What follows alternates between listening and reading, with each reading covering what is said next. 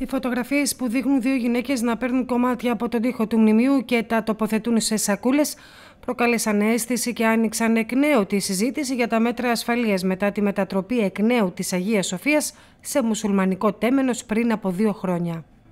Αποδείχθηκε ότι οι επισκέπτες που κατέστρεψαν τα μάρμαρα του τζαμιού της Αγίας Σοφίας ήταν χριστιανές τουρίστριες.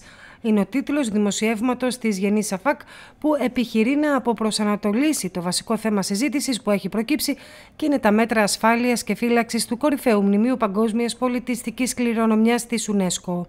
Η εφημερίδα υποστηρίζει πως οι γυναίκες στις φωτογραφίες που φέρνουν μαντήλες στο κεφάλι ήταν χριστιανές τουρίστριες, οι οποίες έξισαν τα μάρμαρα του μνημείου προκειμένου να πάρουν κομμάτια ως ευλογία. Προς επιβεβαίωση της ετοιμιγορίας, το δημοσίευμα επικαλείται σχόλιο της Τουρκάλας αρχιτεκτόνισσας Σεντάο Ζεν Μπιλγκυλή στο προσωπικό της λογαριασμό στο Twitter, σύμφωνα με το οποίο ξένοι Ορθόδοξοι επισκέπτες που θεωρούν τον τοίχο ιερό και τον αφαιρούν. Θα ερευνηθεί και θα βρεθεί αν ερευνηθεί. Στο παρελθόν οι τουρίστες αποσπούσαν ψηφίδες ως αναμνηστικά. Ευχαριστούμε που μας παρακολουθήσατε. Αν σας άρεσε αυτό το βίντεο μπορείτε να κάνετε like και εγγραφή στο κανάλι μας για να λαμβάνετε πρώτοι όλες τις νεότερες εξελίξεις. Μην ξεχνάτε να μας κάνετε σχόλια με την άποψή σας, καθώς η γνώμη σας είναι πολύ σημαντική για εμάς.